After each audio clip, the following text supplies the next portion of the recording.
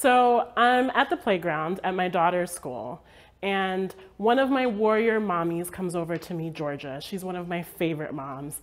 And she says, Steph, there's this position opening at my organization. And I'm like, Georgia, tell me more.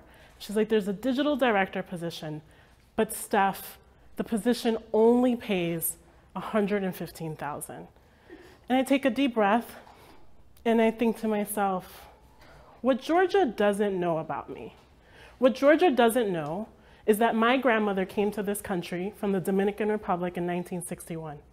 And what Georgia doesn't know is that for 25 years, my grandmother woke up at 4 o'clock in the morning and didn't come home until 7 p.m. And for 25 years, my grandmother never earned more than $5 an hour.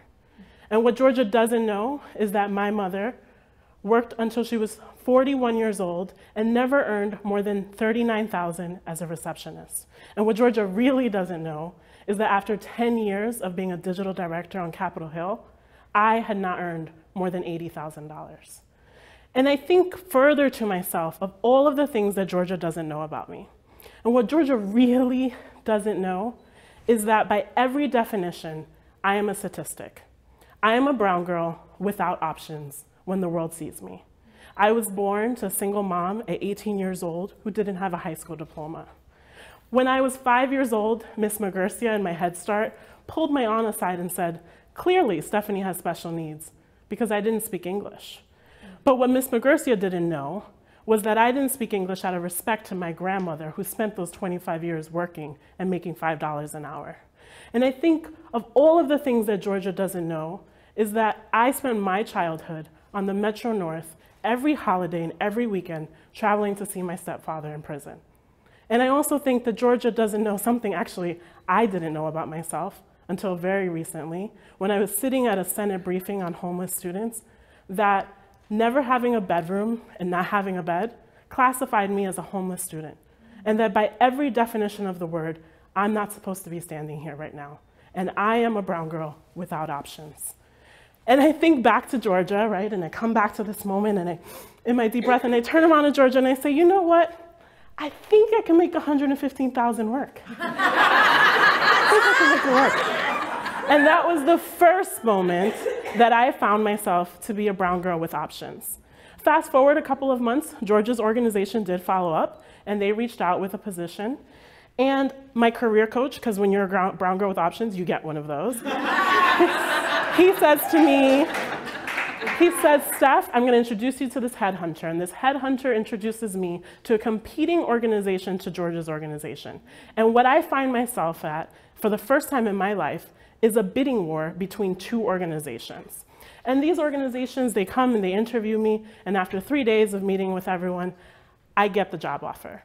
And I think back to my conversation with Georgia when the HR rep calls me and she says, So, how much do you want? And I say, a million dollars. And the HR and I person just laugh. And after three days, I take time to think about it. I get offered for the first time in my life six figures.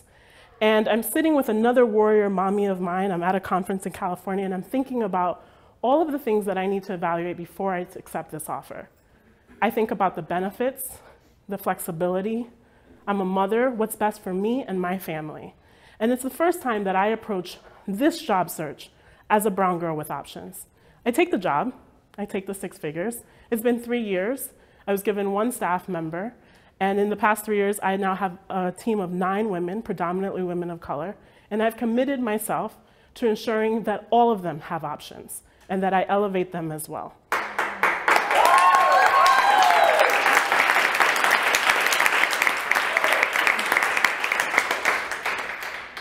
So then I think there's a date that you all will remember.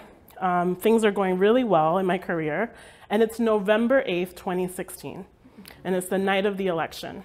And I went to bed early because I, like many people, thought that Hillary was going to get elected. So I go to sleep, and it's about 11:30 at night, and my daughter, who's nine years old at the time, wakes me up really scared, and she's crying, and she says, "Mommy, mommy, mommy, something's wrong." And I'm like, "What is wrong, sweetie? What's wrong?" She said, The map is red, mommy. The map is not supposed to be red. And what I felt in that moment was my daughter's very own existence being threatened. I felt the fear that my daughter felt. And the next day, when I walked into that job that I so proudly took with the salary that I wanted, I walked into that staff and I told them, I can no longer work here. Because in this moment in history, I have to stand on the right side of history. I have to look at my grandchildren in the face and tell them that I stood up against hate, that I stood up just so that they could have value. And that is what I have dedicated myself for the past year. And what my job doesn't know, they might watch this video, and most people don't know, is that for the past year and a half, I've dedicated myself to working on some of the biggest movements in this country. So Georgia, my warrior mommy and I, we organized all the fourth grade moms to go to the Women's March on DC because what else would you do when you're facing an inauguration of Donald Trump? Mm-hmm. And so we're organizing all the moms and we got our daughters ready and we're so excited. And two nights before the march, I get an email. And the subject of the email is, do you want to be a part of history? And res my response is, yes. I don't know what I'm signing up for. I don't know what I'm doing, but I'm gonna be there. And within 48 hours, I assemble a team of seven women of color. And these women lead the entire digital and social strategy for the Washington, D.C. Women's March. And I am so proud and humbled to have led that team.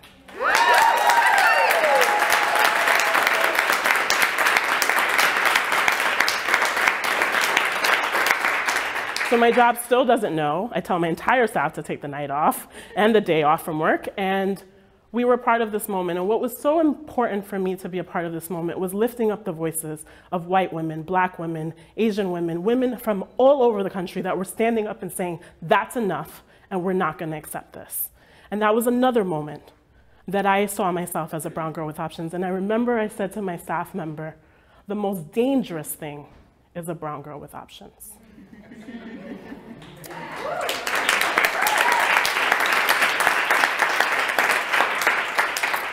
So thinking back on my grandmother and my mother and all of the sacrifices that they made so that I could grow up to have the options that I have, I think about my daughter.